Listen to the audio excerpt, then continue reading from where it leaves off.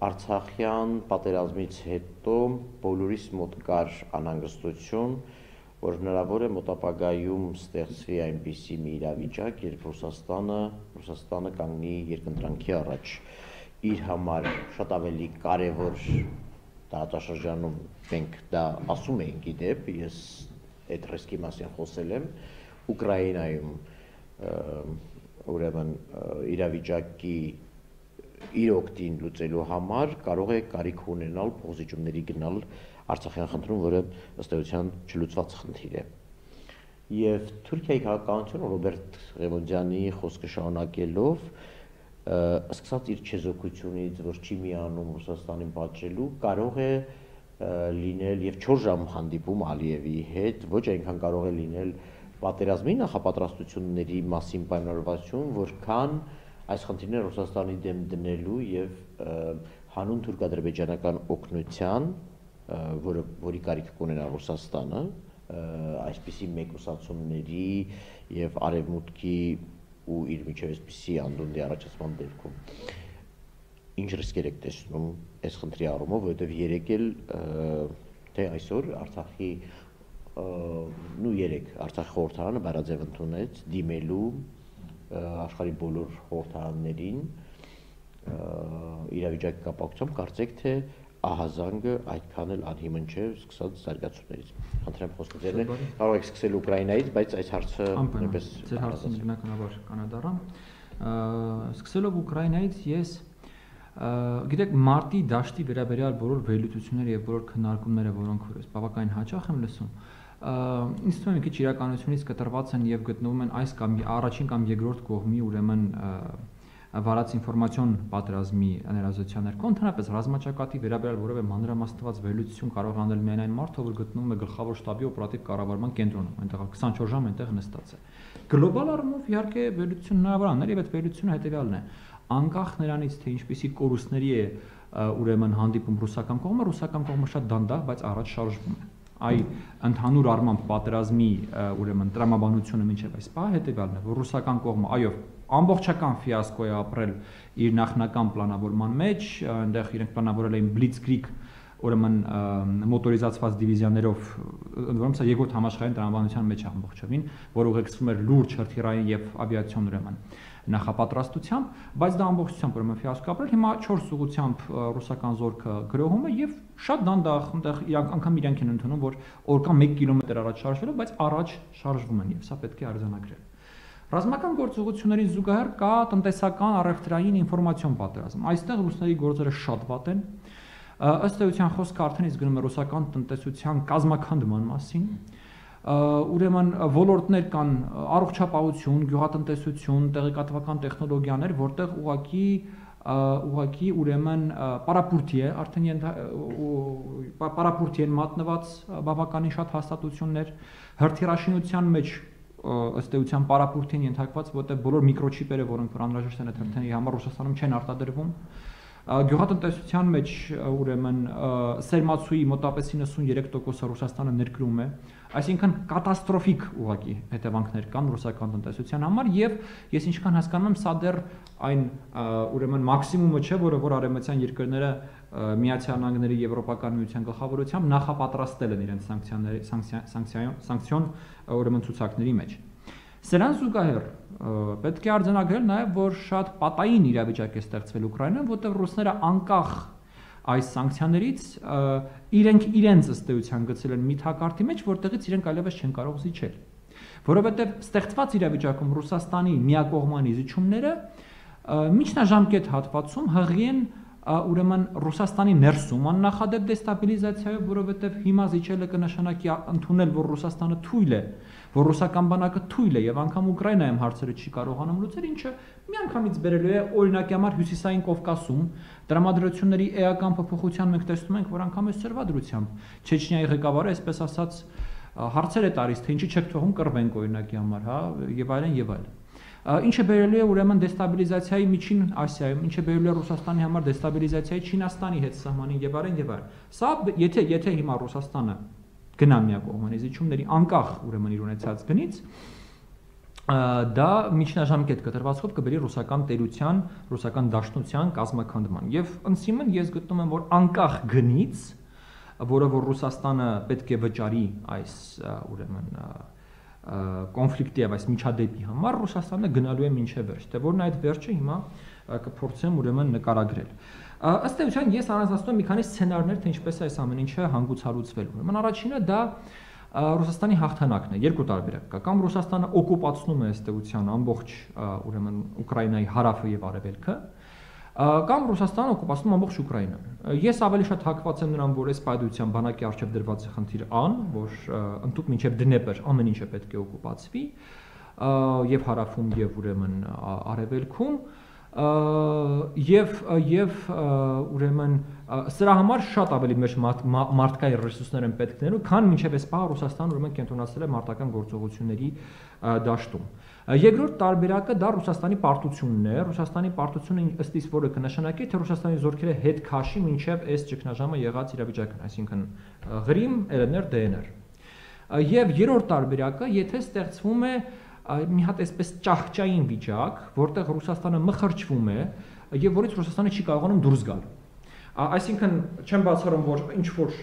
ահի ռազմական ակտիվ գործողությունները դադարեն, ստեղծվի ինչ որ մի հատ ստատուս քվո, որը որ չլինի լուծում, որը որ չլինի որևէ որը չավարտվի որևէ փաստաթղթով, բայց լինի մի հատ իրավիճակ, երբ որ Ռուսաստանը այնտեղ հսկայական կոնտինգենտ է ստիպացնելու պահել, լինի իրավիճակ, երբ որ այնտեղ անընդհատ ինչ որ կրակոցներ կլինեն, հրադադարի խախտումներ կլինեն եւ այլն, այսինքն կստեղծվի, գիտեք, հայտնի չափով նոր ուրեմն Ղարաբաղյան վիճակի նման մի վիճակ, որը որ կար 30 տարի, հա, որը որ երկու կողմերին էլ անընդհատ պահելու է գերլարված վիճակում, որը որ երկու կողմերին անընդհատ պահելու է ոչ խաղաղություն, ոչ պատերազմ վիճակում։ Քանի որ խոսեցինք Ղարաբաղի մասին, ես կուսեմ երկու նմանության մասին խոսել, որ կա ու դա հայտնի չափով աշխարհակարգի պարտության հետևանքներ են։ Տեսեք,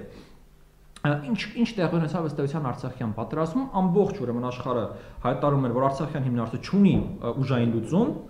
բայց կողմերից մեկը գնաց ուժային լուծման եւ ըստ էության մարսեց իր ուժային լուծման գնալը հիմա Ռուսաստանը ըստ էության անում է լրիվ նույն բանը Եվ երկրորդը Ադրբեջանը մերձավոր արևելքից, ինչպես պարոն Մեհրաբյանը նշեց, թափթփուկներ, ահաբեկիչներ էր բերել լցրել իր տարած եւ դրանցով էր կռվում հայտնի չափով, եւ Ադրբեջանը դա մարսեց։ Հիմա Ռուսաստանը անում է նույն բանը։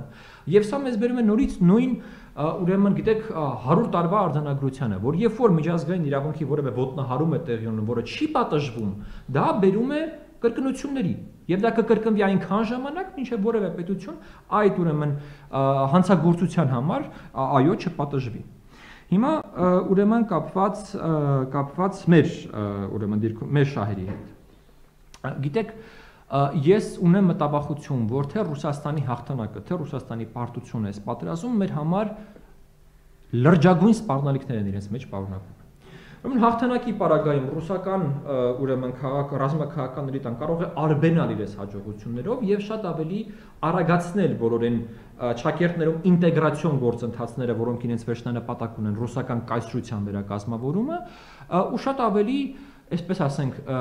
ռուսերեն լավ բառ կա, без церемонный, հա, առանց ուրեմն ավելորդ ամբռնազբոս, այո, հիանալի բառը, ամբռնազբոս կերպով ստիպել եւ ուժ գործադրել ուրեմն Հայաստանի եւ ոչ միայն Հայաստանի ուղությամբ ինտեգրվելու այդ գործընթացներում։ Եվ երկրորդ տարբերակը, եթե Ռուսաստանը պարտություն է գրում ուրեմն այս կոնֆլիկտում, այստեղ երկու սպառնալիք կա։ Ուրեմն մեր սխալ աշխատանքի հետևանքով նաև մասամբ անկառավարելի ռիսկ են դառնում Թուրքիան եւ Ադրբեջանը մեզ համար։ Սա մի ոնց որ ուրեմն վտանգը եւ երկրորդ վտանգը. Ռուսաստանը պարտվելով հանդերձ դառնալու է վտարանդի պետություն աշխարհում, ինչպես որ արդեն բռնել է այդ ճանապարհը։ Եվ գիտեք, վտարանդի պետություն դառնալով Ռուսաստանը այնտեղ չի գնա միայնակ։ Ռուսաստանը փորձելու է իր հետ դեպի այդ վտարանդիություն մի քանի հոգու իր հետ տանել։ Եվ ցավոք սրտի, ուրեմն աշխարհական իրավիճակը այնպեսին է, որ ռուսները առնվազն փորձելու են դա առաջին հերթին անել ուրեմն Բելարուսում եւ Հայաստանում։ Սա վտանգների մասով։ Հիմա ինչ ինչ վերաբերվում է ուրեմն բանակցություններին ռուս-ուկրաինական ես ճիշտ ասած այնտեղ որևէ արդյունք չեմ սպասում քանի դեռ պատերազմավարման ուրեմն ռեսուրսները կողմերից որևէ մեկի մոտ չի ավարտվել թե ում մոտ կավարտվի առաջին այդ պատերազմավարման ռեսուրսները սա ցույց կտա սա ցույց կտա ժամանակը այստեղ ուրեմն տեխնիկական, ֆինանսական եւ ռազմական ըստ էության լրջագույն աջակցություն է ստանում Ուկրաինան եւ այդ առումով ըստ էության ապահովված է, բայց Ուկրաինայում ես տեսնում եմ մի թույլ օղակ, մի թույլ կետ, դա մարդկային եւ կազմակերպչական ռեսուրսների սահմանափակվածությունն է համեմատած ռուսականի հետ։ Ինչ նկատի ունեմ ասելով կազմակերպչական, դա է ինչ որ մեր մոտ եղավ պատերազմում, երբ որ ինչ որ բայ Հայաստանը չուներ այլևս ռեսուրս մարդկանց խմբերը կազմակերպելու իբրև ստորաբաժանումներ եւ ուղարկելու պատերազմի գոտի։ Այ Հայաստանում մենք հստակ էս կողմը հիշում եք այդ հայտարարությունը Օֆտանը Բուշլաթունի վերցրեք գնացեք կռիվանելու։ Այ այս այդ կազմակերպչական ռեսուրսի ավարտվելն էր Հայաստանում։ Այ այս ռեսուրս այս այս վտանգը ես տեսնում եմ, որ Ուկրաինան կարող է ինչ որ բայ ուրեմն հանգել սրան։ Ինչ վերաբերվում է ուրեմն հայ-ադրբեջանական հարաբերություններին եւ վերջին սրացումներին, որոնք որ մենք տեսնում ենք Արցախում։ Ուրեմն այս սրացումների վերաբերյալ ես դեռևս երևի թե մի ձմեռվա սկիզբ էի սրանց սրանք կանխատեսում եւ սրանք ես կարծում եմ, որ Ուկրաինայում դեպքերը ընդհանրապես առիթն են այս սրացումների։ Ադրբեջանը ամբողջ ձմեռ բավականին լուրջ ձմեռային կամպանիա է իրականացրել, բավականին լուրջ նախապատրաստական աշխատանքներ է տարել։ Դուք գիտեք վստահաբար, համարյա 20 հատ նոր զորամաս է կառուցվել Արցախի եւ Հայաստանի սահմանների երկայնքով 100-ից ավելի ուրեմն ամրացված դիրքեր են կառուցվել, այսինքն Ադրբեջանը շատ լուրջ աշխատանք է տարել, իսկ Հայաստանը իմ գնահատմամբ առնվազն իր տնային աշխատանքը կատարել է երկուսի, մոտավորապես այսպես ասեմ։ Հիմա Ադրբեջանը օգտվում է այն առավելությունից, որին որ ինքը ձմեռային կամպանիայի ճիշտ աշխատանքի արդյունքում հասել է, եւ կարծում եմ Ուկրաինան ընդհանրապես սրա առիթն է։ Հիմա ով է ով է հովանավորում Ադրբեջանի այս քաղաքականությունը։ Այստեղ նույնպես կա երկու տեսակետ։ Այդ դուք շատ իրավացիորեն նշեցիք թուրքական տարբերակը, որ Թուրքիան այս երեք ժամանոց հանդիպում Ալիևի հետ եւ այլն եւ Թուրքիան շահագրգռված է միջև այսպես ասած գործը ավարտին հասցնել, որը որ սկսվել էր ուրեմն 20 թվականին, բայց այստեղ կա նաեւ երկրորդ տարբերակը, չի բացառվում, որ սա արվում է հենց ռուսական կողմից։ Գիտեք, Ռուսաստանը որևէ պարագայում թույլ չի տալու, որպեսի ուրեմն մեր տարածաշրջանում հաստատվի խաղաղություն։ Ռուսաստանը որևէ պարագայում թույլ չի տալու, որպեսզի հայ-թուրքական կամ հայ-ադրբեջանական հարաբերությունները կարգավորվեն։ Սա բացառվում է, սա կոնստանտ է։ Բայց դեստաբիլիզացիան գոնե այս շրջանում Ռուսաստանի շահերի չի բխում։ Հիմա այդ դեստաբիլիզացիան դա կարող միայն մի դեպքում, երբ որ ինքը ներողություն եմ խնդրում դատելու համար, բայց երբ ինքը ինքան կարիք ունենա Թուրքիայի եւ Ադրբեջանի միջոցով շրջանցելու սանկցիաներ կամ